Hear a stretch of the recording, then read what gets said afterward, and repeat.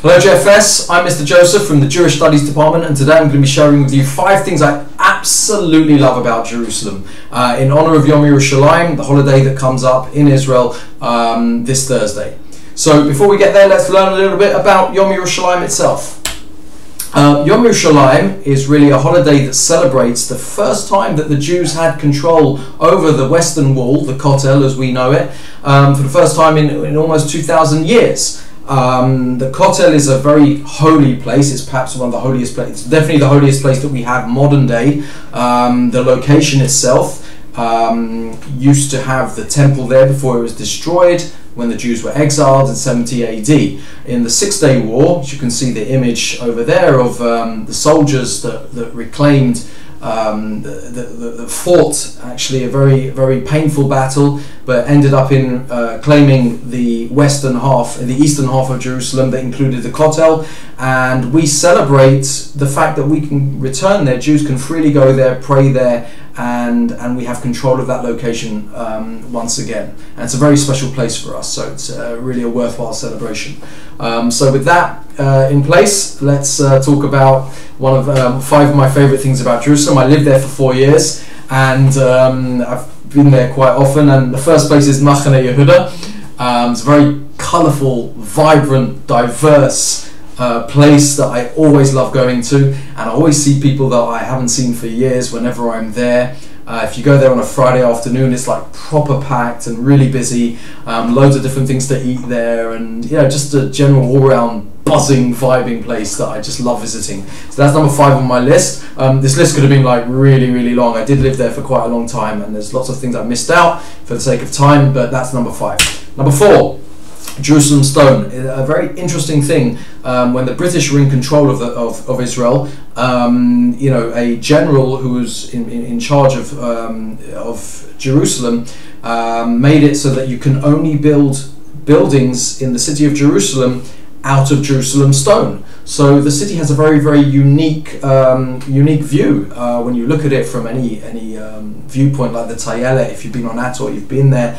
Um, all of the buildings are made out of the same stone, and therefore all of the buildings in the city um, have the same color. And uh, you know, it's not for me. It's not boring. I just I find it one of the most unique and wonderful things about the city of Jerusalem. That and also the stone itself comes from the area, so it's a very you know it's got very strong identity in, in being you know Jerusalem.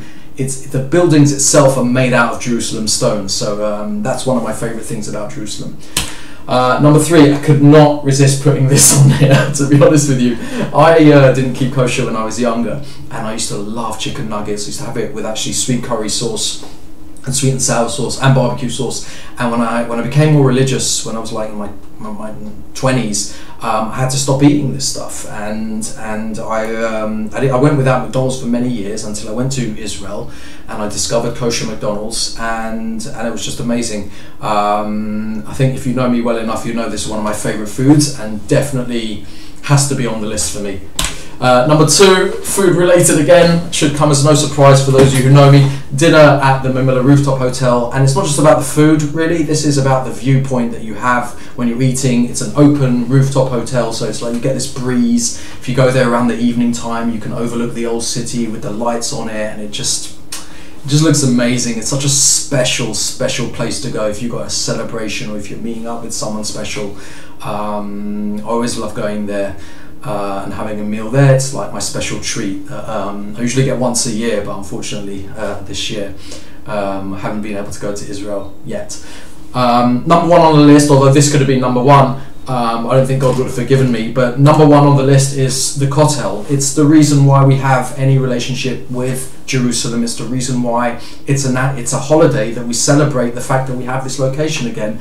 Um, this is a place where Jews, whether you're religious or secular, always experience something. I, you know, pray there. When I when I take groups out on Atoy, um, most of the people there, most of the students there, they just can't get enough of the place. And, and, and some of these students are not even, you know, um, wouldn't have even thought that they would they would want to pray there. But when you get there, you just have this experience there, and I've seen it so many times. It's such a special place. Uh, for me personally, I remember once, um, you know, I was when I was dating my wife.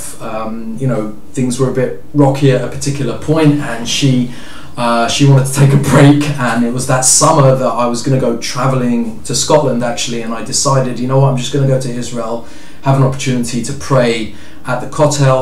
And um, I remember having a very emotional day. I ended up, uh, you know, spending a lot of time there, and uh, you know, um, and I just think this is like this is really the the reason why us as Jews um, have um, you know, have an affinity to the land of Israel, have an affinity to the city of Jerusalem, and it's the reason we have Yom, Yom Yerushalayim. It's the reason. It's what we're really celebrating. Is the fact that we as Jews can go there and freely visit this place and pray there. So with that, I wish you all a um, happy Yom Yerushalayim. Please God, uh, once this is all over, we'll be able to visit Israel again and go and pray there. And uh, please God, in, in the future, we'll, Mashiach will come and we'll all be living there.